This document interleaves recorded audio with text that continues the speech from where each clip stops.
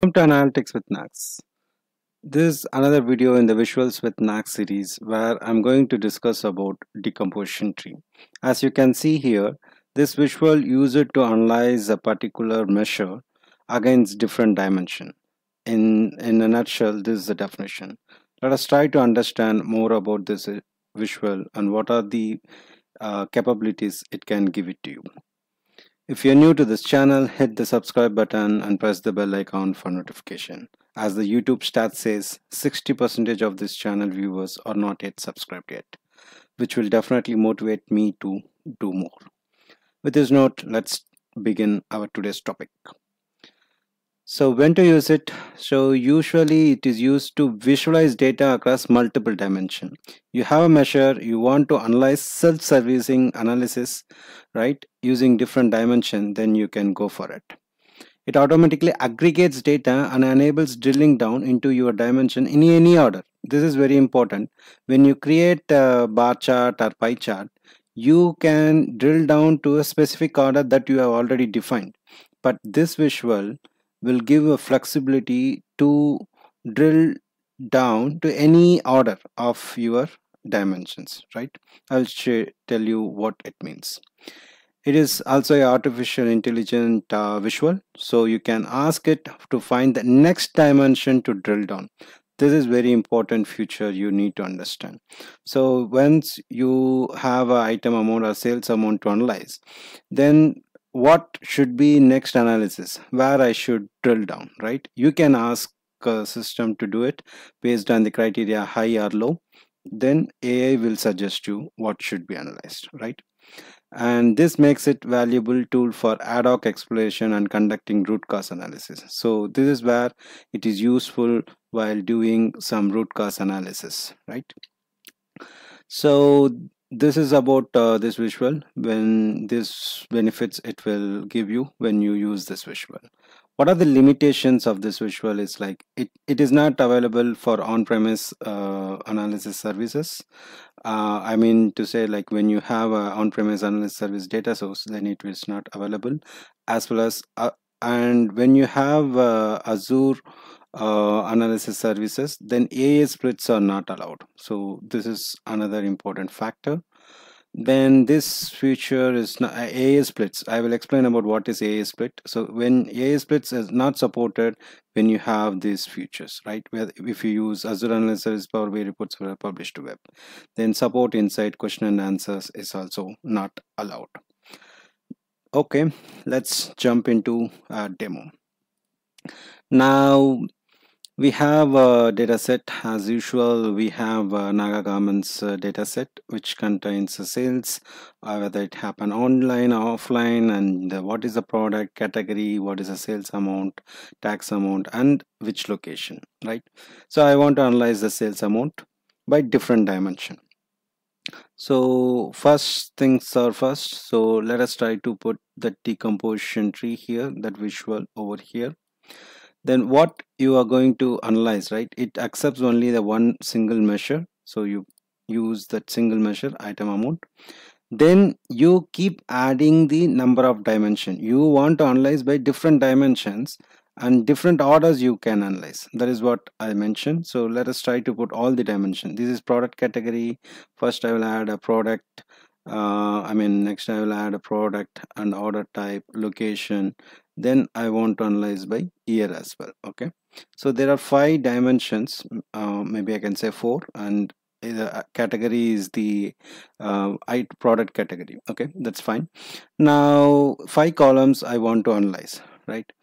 So as soon as you see it what order right you can analyze so you can click on it let me increase the size uh, so that it will be viewable so the category label increases the uh, description the category value and data label increases the value of that category now as soon as you choose this plus symbol like high low I will come to that later. Now you have a flexibility to choose from which level you want to go or which category which column you want to analyze.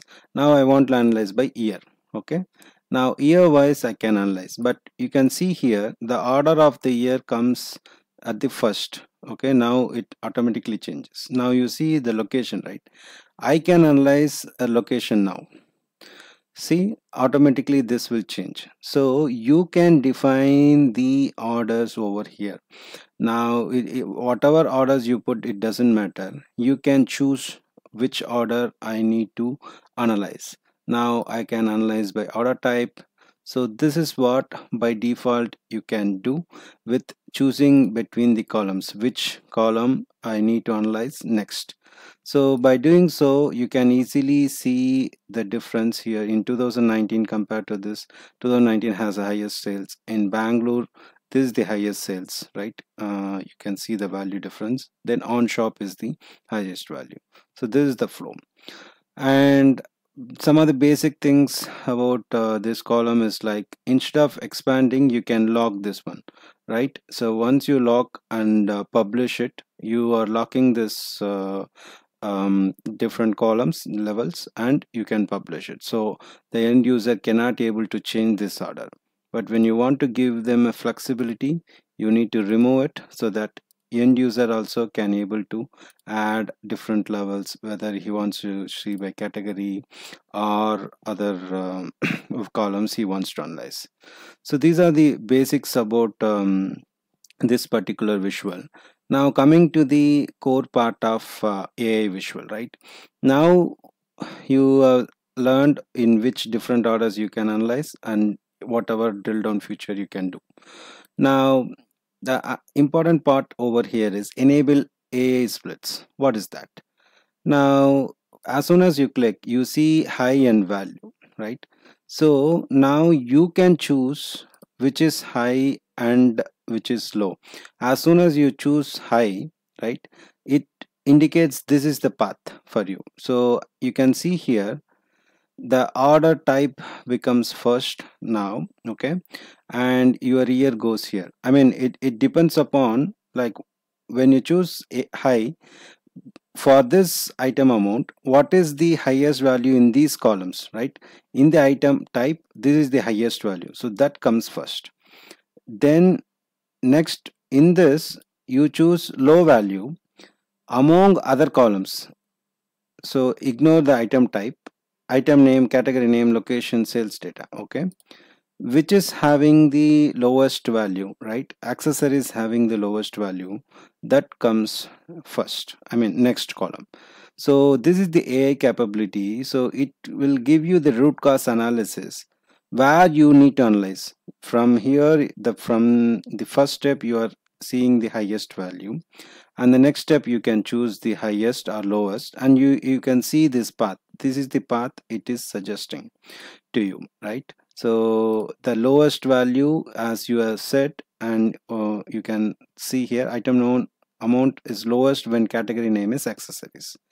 So it will suggest you what columns to choose. So this is what um, um, I mentioned about the AI capabilities and you can enable it. That is AI splits right? And one important feature about is let me choose the uh, category name. I think um, this one okay. Now you can see the category name right? When you have absolute right I say highest value. Now when you click on casual wear the order type is the highest value and it appears. When you click on accessories you can see the item amount is item name i mean the product is the highest value. That entire product becomes the highest value. So it becomes your um, next column to be analyzed. What i'm trying to say is because we have enabled the ai that is uh, i want to see the highest value in the next column right? When you click on casual which is having the highest value uh, in the casual wear is order type having the highest value. When you go to formal and semi-formal both having the order type column has the highest value that is on shop. That is why it is appearing. Whereas when you consider accessories right the wallet because it contains only one product that becomes your highest value. Since when you see the order type which is having 154300 so there is a split here. So it doesn't come under categories as the highest value. When you click on casual wears the order changes okay? You you see here. So it by default it has set. So that is why it has come here. Now you can enable the uh, location or whatever it is. So this is what you can do a self-servicing BI and based on the values you choose the AI functionality highest and lowest. Now I do not want to appear it like the, uh, it is this behavior is because you have absolute uh, value here. Uh, what is the absolute value? That is why it's happening. Uh, meaning like when I press high value and the analysis type is absolute you get whatever the absolute value um, over here appears in the next highest value. I mean the column having the highest value appears here. When you put relative here okay the relative means always in the next level whichever is having the highest among the in that column okay the whatever columns it have it compares all other values then gives the highest. So since uh, the item amount have only one value that is ignored instead it gives whatever column has different values from that highest. So relative will always compare the values in the next column i mean the column values then it will give you the results. So these are the some of the quickest thing you need to understand how it helpful when you do your uh, analysis using this particular visual. And um, that are the core parts about this visual. And you need to understand uh, other properties like primary colors. You can uh, you can use uh, different colors over here. You can explore all other uh, colors over here the positive bar or negative bars. So some of the features are you can understand uh, by self-explanatory and other features like shadow tooltip everything is um, common across all other visuals i hope uh, you like this video and hit the thumbs up button and comment below for queries. Do remember that data is your asset.